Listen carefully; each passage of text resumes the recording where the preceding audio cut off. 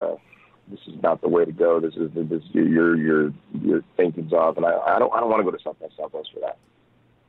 I don't Right. want, I don't want to go get in a debate with anybody, and you know it's just uh, I, I want to go I, I want to go because of the music, and that that's why I go. And you know, Sure. Now, I just ran an push it out article. I just ran an article out of a. Uh, it was a uh, a British music news, and uh, they were talking about uh, the revival of the political folk music uh, climate, which basically carries me back to uh, the days in the '60s when uh, Bob Dylan and Peter Paul and Mary and a lot of the folk, actually before that with uh, Pete Seeger and some of the others uh, that Phillips. really got into politics. And exactly, and they injected politics into the music. Now, uh, any opinions on that? You have any opinions on that? Well, you know, at that at that point, it was a different time. You know, I, I remember Country Joe. It was a Country Joe and the Fish too, as well. Yeah. Oh, yeah. Um, yeah, yeah, yeah. They, I mean, they, I mean, there, there, there was. I mean, I, I gotta, I gotta say, like, I, at that point, you know, the the Vietnam War was going on, which you know a lot of people were against us going into. So it was. I, I think I was okay with that back then. It was a different time, you know. But I, I don't see anything going on at the magnitude of what was going on at that point because you know a lot of the, a lot of the Vietnam vets, bless them, they've. Uh, I mean, they lost a lot of friends out there, and you know they they were just they were recruited as 18 year old kids, you know, just hey, you're going to war, Sure. and some never came back. So I I can kind of see back in those days the, the anger, you know, that was in the music, but I don't. I mean, now I I mean. I mean, it's not as bad as people make out make it out to be, you know. And I mean, from people faking faking uh, faking hate crimes and things like that, that's not that is not a good thing. Yeah, I, I definitely agree with you on that. And you're you're seeing this uh, you're seeing this move into the uh, everyday conversation there. Besides just uh, the the speakers and things like that, you're you're seeing this politicizing come into the everyday conversation. Yes, yeah. I mean, it's it's it's happening, and you know, and it and it's basically just one direction, you know. So it's not. Yeah, that's Right. that's unfortunate. As I said, I don't I don't agree with it being injected into an arts event to begin with, and then when it's all one sided, that's even worse. I would uh, I would do I would like to see done what the uh, what the Oscars tried to do this year. Uh, they didn't succeed, but I think they watered it down a little bit, and they said they were going to try to depoliticize the Oscars and make them less political. Uh, I think they uh, they did move in that direction while not being totally successful. I, I think that the, that's something an artistic event might want to concentrate on is uh, holding back the political posturing. Uh, uh, again, like I said, I'm very strongly of the opinion that an arts event is there for the arts. It's not there as a political stage. And uh, if I were running a uh, an arts event like that, whether it's music, uh, uh, what type of arts it was, I'd want to see uh, I'd want to see that particular art pushed, and not somebody come in and start you know trying to sell their political uh, Yeah. political views. I, I think that uh, the simplistic way of looking at it is, you know, virtually all the major problems that we have in the world today and have had over the years is a direct result of someone or some group of someone's trying to enforce their opinion on somebody else, and uh, that Exactly. that's what causes most of the problems there. But, uh, I Yeah. thank you I mean, so much, yeah, I mean- David. Go ahead. Yeah, absolutely. Go ahead. I, I know I enjoy I enjoy doing this every time, so I, I appreciate you uh, you having me come on, you know, and do do this. I mean, it's a That's it really makes me happy to do this. It's really great having you here. We enjoy it. We love you. You're part of our family, and I thank you so much for joining us, sharing your opinions, your insight, and uh, giving us a little bit of the feel of South by Southwest. And uh, I picked one out of the vault to close the show out with this week. This is a song that uh, I'm not sure what year this was out, David, but uh, perhaps you can help me there. But this was a song that I heard uh, several years ago that uh, got my, brought my attention to a uh, to a Texas singer named David Martinez. It's a thing called Hey Mary. Tell us real quickly about that. When was that out? I released it. I went to Nashville and recorded it in 2010, so it was released November 2010.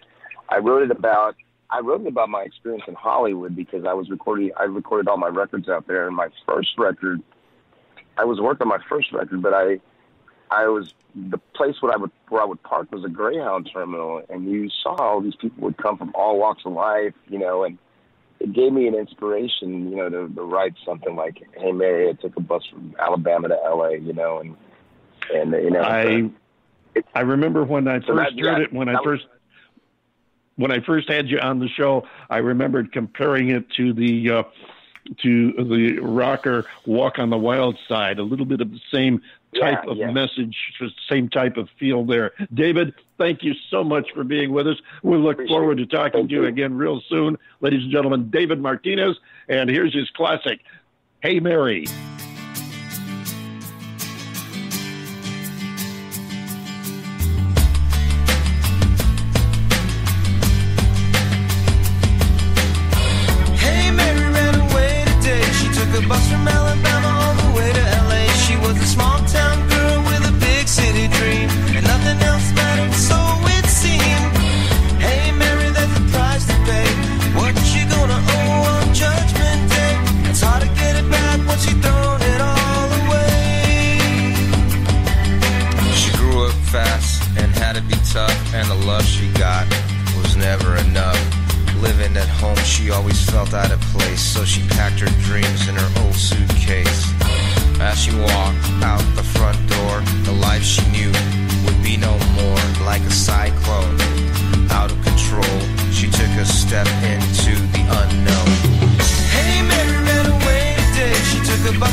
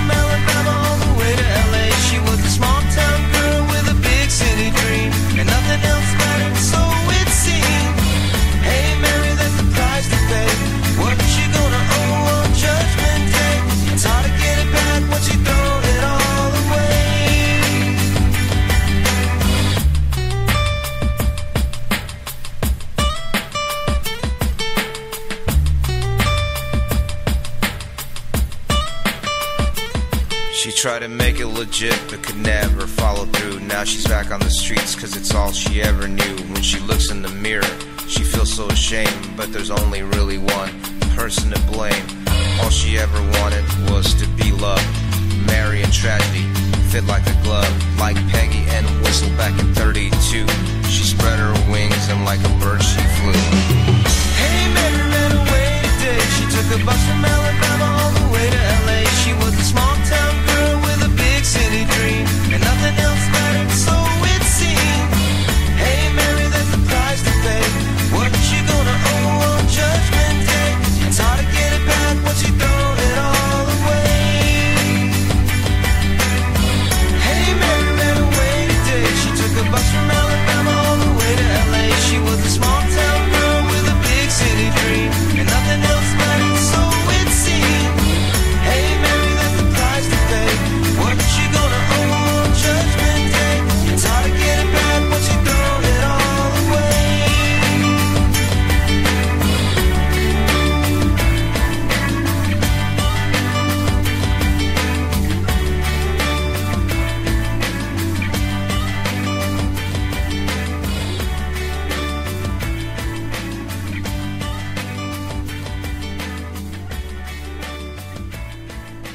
that's David Martinez right here on the David Bowers Awards, and uh, so so much fun. David is such a such a great guy to talk to, such a great talent, and uh, love the fact that uh, regardless of what happens the rest of the year, he's always here, always stops by to give us the latest on South by Southwest. He's become our man in Texas, and we thank him so much. Check him out online. You can find him. Simply Google David Martinez or David Martinez Music, and uh, you'll find him. Check out his music and uh, drop him a line. Uh, you'll find him, as I said, all the usual places, and he'd love to hear from you. John Bon Jovial, I think it's. Uh, I think we've done about all the damage we can this week. Why don't you uh, crank up the old flivver and take us home? yes, sir. Well, folks, you've done it again. Once again, you have spent another quality hour with the David Bowers Awards, and we are grateful to have your attendance this week and every single week, that's for sure. The David Bowers Awards is broadcast around the world from the studios of Computer Help USA in Naples, Florida, and of course the Valley of the Sun in Tempe, Arizona, and is absolutely free on Blog Talk Radio, also YouTube, iHeartRadio, iTunes, Spreaker, Amazon Alexa devices, and really just about anywhere you get your favorite podcast download. Click the follow link on our Blog Talk Radio page and please be sure to like The David Bowers on Facebook as well as Twitter. Join us next week for The David Bowers Awards, Saturdays at 12 p.m. Eastern on WRFZ FM 106.3. That's Rochester Free Radio. And on Blog Talk Radio, Sunday at 2 p.m. Eastern, 11 a.m. Pacific, and 7 p.m. Universal Time Coordinate for more great indie music and talk with the artists that make it all happen. So until next week, for the David Bowers and Nick the Geek, our marvelous engineer, I am yours truly, the legendary John Bon Jovial, saying uh, we'll see you next week. Love everybody and love yourself as well. Until then, thanks again for listening to the David Bowers Awards.